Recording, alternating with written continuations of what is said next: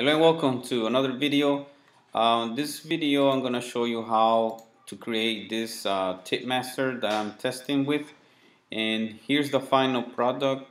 Here's you type your restaurant bill.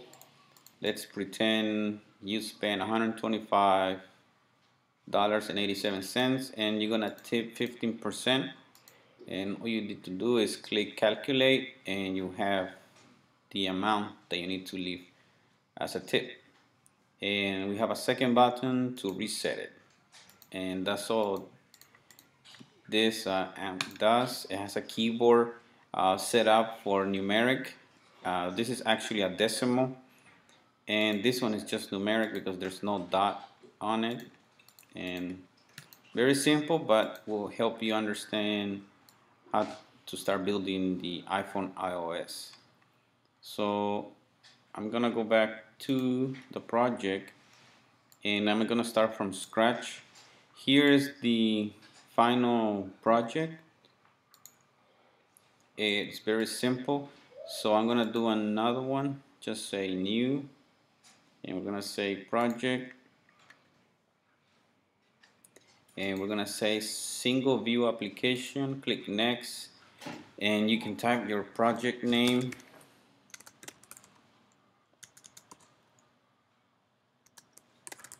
anything will work. And you don't need this but just type something in in the organization. This is optional. We're just gonna use iPhone and make sure you have the storyboards and the automatic reference counting. Click next. Then just select uh, somewhere you want to save it and click create okay? So this is what you have by default. There's no images for the app icon. On this one if we go back we do have and I can show you in a different video how to add the icons.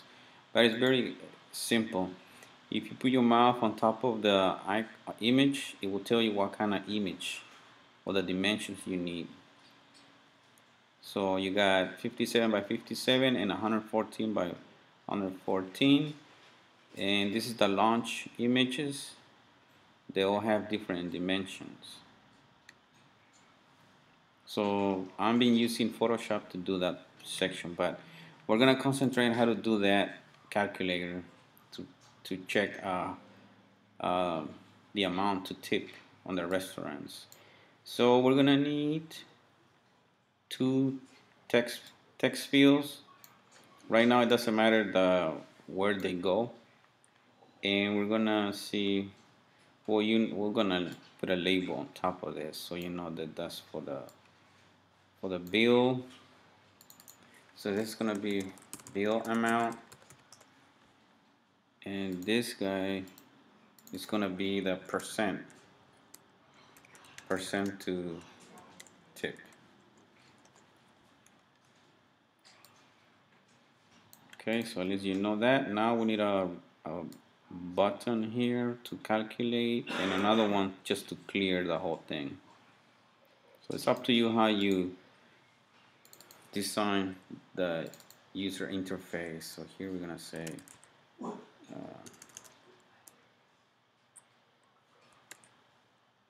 I'll just say go and then this one is clear. Oops. Clear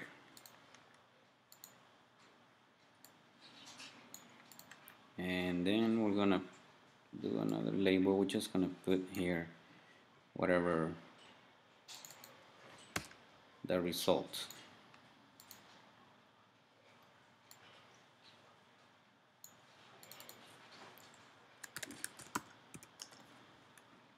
And that's it. Okay so we're gonna put this one here. We're gonna use this one so we can get center. And that's it for how it looks now if you want to add an image like I did all you need to do is uh, for that you're gonna need to add a image in the background. Image view so you can drag it out here and just expand it all the way on this guy. Now the image as you can see there's an image. Right now I don't have anything here but to add an image you're gonna do add files to your project and uh, let me see where it is. I'm gonna add I'm not sure where to go. But I think it's this one. Try this one.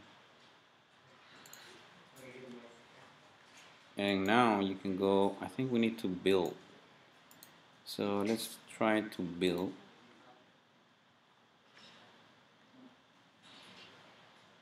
okay now let's go back here. I still don't see it. Let's see that's just that's the, like a default page. Anyways but once you have your your uh, image set you can go to arrange. Arrange. Hmm. I think I missed a step here but we're supposed to send it to back but it's not working out on this so we're gonna skip this part right now. And we're just gonna do this.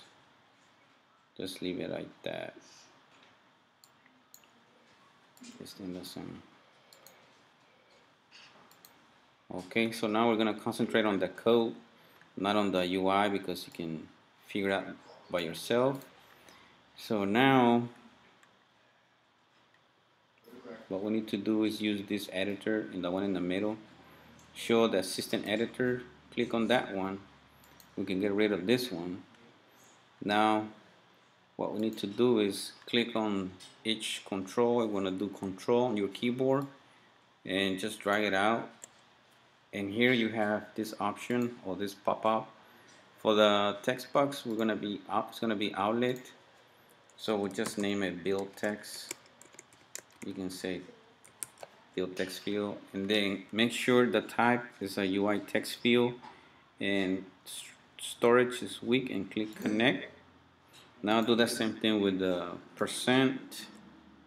So we're gonna say percent uh, text field. And click connect.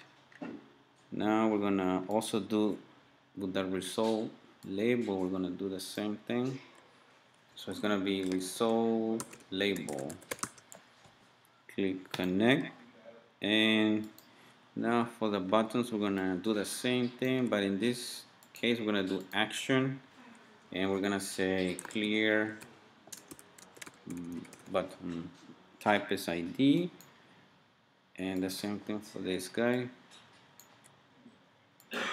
So action and here we're gonna say go button ID touch up inside and sender click connect. So now that we have that connection set up from our view controller this is the view controller. And if you want to know where that is it's here. So that's our view controller and all the fields that we just added to the view. So now we're gonna go, we don't need this editor anymore, this assistant editor, we don't need this, so we're gonna go back, click on this guy, and now if you go to the view controller, that's the code that we just added by dragging and dropping. Now you go to the view controller m.file, and as you can see, you have two actions or two methods here that we're gonna start using. We're gonna connect. So now what I'm gonna do real quick is just go back to our old example and so you can just copy on your side. So I'm gonna go here. There's nothing special about it and I'm gonna explain this for you. So on the go we're gonna type this. There's some things we need to change obviously and we're gonna go back to clear gonna paste this guy. So basically here we're gonna say self here we're basically gonna remove all the text so we say bill amount text field and our field has a property called text so we're gonna set that to nil which is nothing or null in C sharp and but here is differently. So here we're gonna say percent text field the same thing. In our label which is result we did name it result label. We're also going to leave it blank. So that's pretty simple. Now for the action. Now this is not it so we're going to copy and paste this. So as you can see here this is a variable. We're uh, starting to initialize a variable a string type and it's to call the name of it is build total and we're gonna pull the text out of our text box. Here we're gonna say we have a float uh, variable and we're gonna store what's on the build total in our case is this. So basically here we're just casting the text to a float. That's what this line is for. Cast text to float then the next one is percent. Here we're pulling the percent from our UI same thing as above. And here we're converting that text to a float. And we need to divide it by 100 so we can get the decimal on the percent. Just like this. Just like this little note right there. Then the last thing we need to do is find out the tip amount. And what you do is you multiply your total your bill total times your percent value. And then the last thing we do here is we have another result string variable and we are gonna format this string with tip amount and this is the way we're just gonna add a dollar sign to it for the tip amount. And then later we're gonna say to our label okay the label for that text is result which is this guy so now we're gonna hit run and see if that actually works. So here it is. Okay as you can see this is the default keyboard. Now if you want to change that let me stop the debugger and come back to here. We're gonna pull up the storyboard and click on the text box. And if you scroll down under keyboard set it to uh, numbers. We're gonna set it to numbers and I think it's the numeric pad is the other one. So we're gonna we're gonna use the decimal pad. And for the tip amount we're gonna set that to numeric pad. So that will give you the right keywords. Hit save and run. Now when you click view we have a decimal keyboard. And under tip uh, percent we only have that numeric. When we click go as you can see it's working but the result label is kind of small. So you can move that around. We're gonna move it around we're gonna stretch it out. And hit run again see if that is enough but you can move it around so we're gonna do this for go. We got a dollar. Let me see if I add another this. So 10 50, 10 24 now if we click clear everything's kind of out. Still needs a lot of work but that is how you can start building uh, your own applications.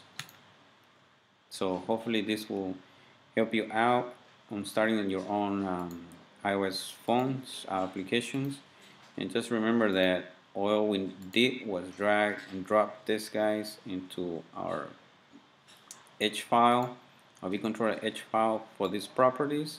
And under the M file we did the, the actual actions. So all we did is pull from the UI the values uh, multiply it and divide it and just set the label back to whatever uh, the results are.